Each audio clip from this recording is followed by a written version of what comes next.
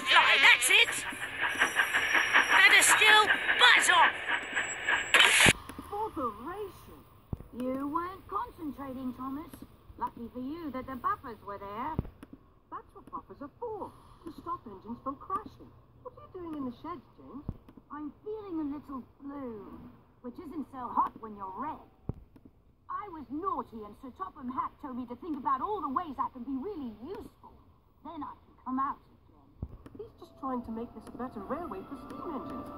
Sir Topham Hatt says the harder we work, the less you'll need diesels. Help you?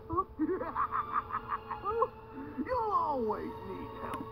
Because steam engines are cowardly, cranky, worn out hunks of metal who couldn't hurt a fly.